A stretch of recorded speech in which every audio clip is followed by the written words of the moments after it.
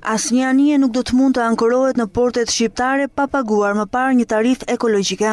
Nisur nga ngjarja e ndotjes së bregdetit të Durrësit kur prokuroria dyshon se ndotja është kryer nga dy anije të huaja, Ministria e Mjedisit ka vendosur t'u vjelë taksën ekologjike çdo mjeti lundrues për të shmangur kështu shkarkimin e mbetjeve dhe ndotjes së detit.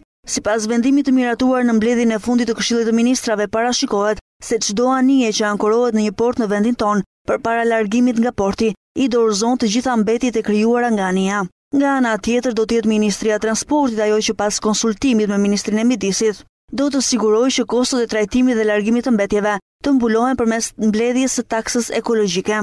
Vendimi parashikon gjithashtu se operatorët e licensuar që do të kontraktohen nga Drejtoria e Përgjithshme Detare duhet të zotërojnë kapacitetet e nevojshme për të tërhequr sasinë dhe llojet e mbetjeve të krijuara.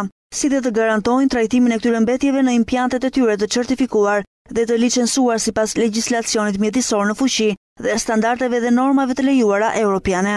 Vendimi parashikohet të hyjë në fuqi brenda gjashtëmujorit të parë të vitit dy mijë e gjashtëmbëdhjetë, pas miratimit të tarifës ekologjike nga Ministria e Financave. Një rregullore e tillë synon t'i japë fund shkarkimit të mbetjeve në det të krijuara nga anijet që ankorohen në vendin tonë.